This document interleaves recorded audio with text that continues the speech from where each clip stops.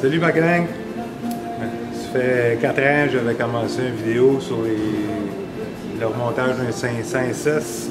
Je suis rendu à la partie 11, puis là tout le monde me demande euh, Coudon, tu finis pas tes vidéos? Fait que euh, je suis rendu, euh, je suis à en faire un autre, là, 4 ans plus tard, mais je vais prendre le temps de finir mes vidéos pour ceux qui s'intéressent.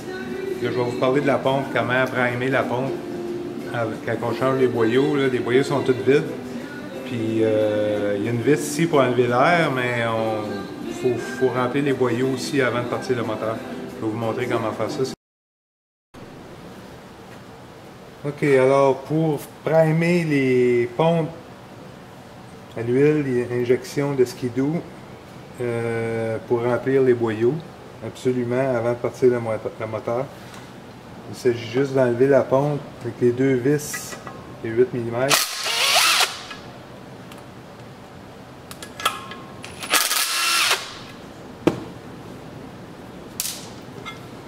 On fait juste la dégager comme ça pour pouvoir avoir, accès au shaft.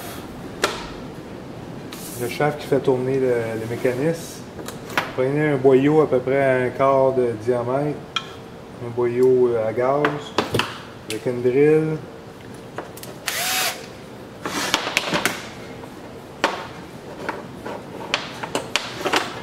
Je vais zoomer pour que tout le monde voit ça. Là, on prend l'huile d'injection, euh, votre huile préférée. Moi, je remplis le boyau comme ça.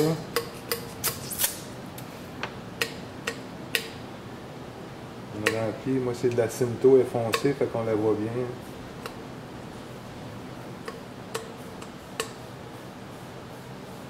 On vient d'en mettre assez pour remplir les boyaux. Là, ce qu'il s'agit de faire, là, je vais zoomer. Ben, c'est ça.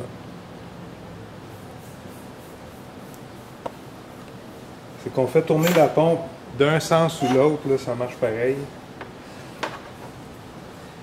Ici, je vais tenir mon, bras, le bras du, câble à la pompe. Je vais le tenir là, sur la ligne en position normale. On fait juste faire tourner. Là, je vais l'envoyer au bout pour que ça monte plus vite. On va le voir monter dans les tuyaux. Ça monte par pulsation.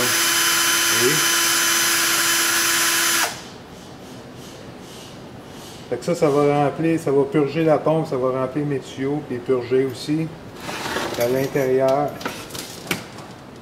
Je vais continuer à tenir ça. À l'intérieur, on va être sûr que nos, nos orifices ne sont pas bouchés, puis tout fonctionne bien. On va laisser couler l'huile à l'intérieur un peu.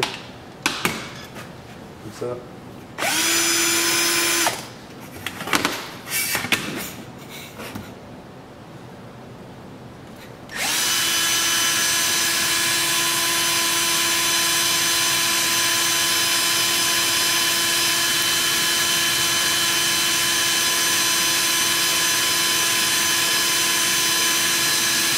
On a un tuyau qui est plus court que l'autre, c'est normal, ça va commencer à couler plus d'un bord. Lui qui est plus long, mais un coup rempli, mais il coule aussi. Fait que là, les deux tuyaux sont pleins. Puis l'huile, elle coule bien à l'intérieur. Fait que là, je suis assuré que mes boyaux sont purgés, la pompe aussi. Fait ce que je fais, moi, euh, d'habitude, je vais prendre ce boyau-là quand ma base est assemblée. Quand je vais avoir fini d'assembler ma base, mon, entrée d'huile pour mon, mon shaft de pompe à l'eau.